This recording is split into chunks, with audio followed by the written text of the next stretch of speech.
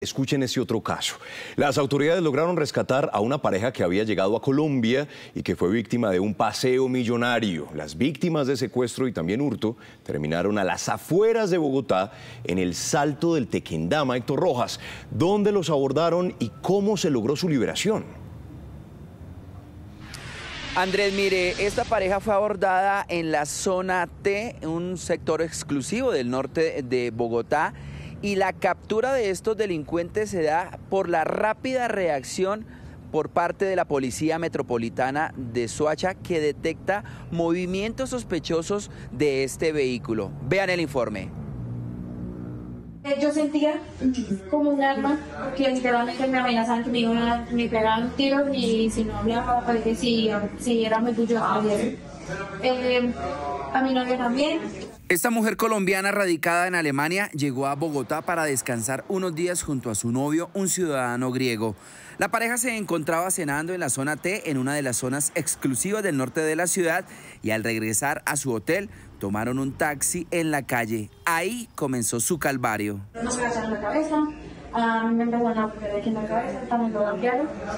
Eh, nos pidieron las me sacaron todo el bolso del celular eh, sacaron todas las tarjetas.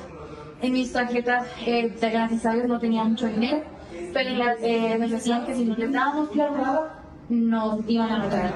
La pareja se dirigía a su hotel cerca al aeropuerto El Dorado. Una vez tomaron el taxi, metros más adelante, dos hombres se suben por la puerta de atrás y comienza el denominado paseo millonario. Sí, esa es la que se clave paila.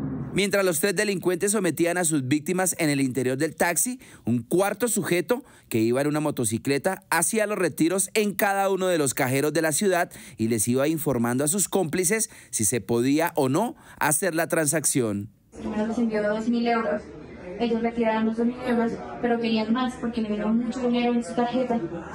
Em, pero como los bancos extranjeros tienen límites, eh, envió otros mil, retiraron los mil y después querían más. Después le envió como 600, 800 euros más. Eh, y eh, también los retiraron y a mí me sacaron más o menos unos 70, eh, unos 100 euros. La pareja que había tomado el taxi en la zona T fue llevada hasta el salto del Tequendama. Cuando iban en el trayecto, una patrulla de la policía detecta el taxi y la moto como sospechosos. Deciden tratar de pararlos y al hacer caso omiso, comienza una persecución por toda la autopista sur. Tras varios minutos de persecución por parte de los uniformados, los ladrones son capturados en el municipio de Soacha cuando pretendían ingresar nuevamente a Bogotá. Para estos tres delincuentes, el paseo millonario terminó tras las rejas. Pero para conocer más detalles de esta captura nos acompaña el comandante de la Policía Metropolitana de Soacha, Coronel. ¿A qué horas esta pareja es abordada por parte de estos delincuentes y cuánto dinero les quitaron?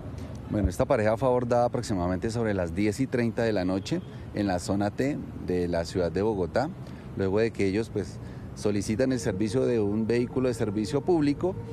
En el trayecto son abordados por otras dos personas quienes eh, los intimidan con arma blanca inicialmente, eh, los amenazan de manera violenta y los trasladan a diferentes eh, cajeros de la ciudad logrando eh, retirar aproximadamente la suma de 5 mil euros.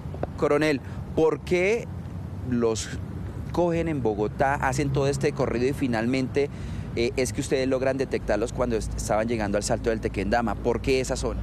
Bueno, ya se nos habían presentado cuatro casos con la misma modalidad de que las personas eran abordadas en la ciudad de Bogotá y finalmente después de retirarles el dinero en los diferentes eh, eh, establecimientos de retiro de dinero, resultaban acá en las inmediaciones de la jurisdicción, especialmente hacia el Salto del Tequendama.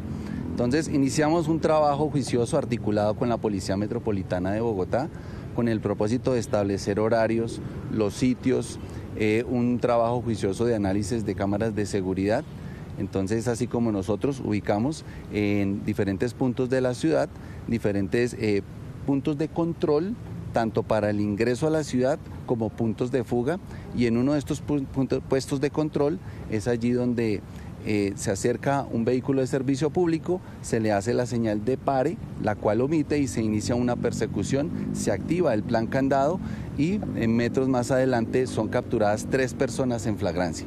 Coronel, muchísimas gracias. Pues estas personas fueron enviadas a la cárcel por el delito de secuestro y hurto calificado y agravado.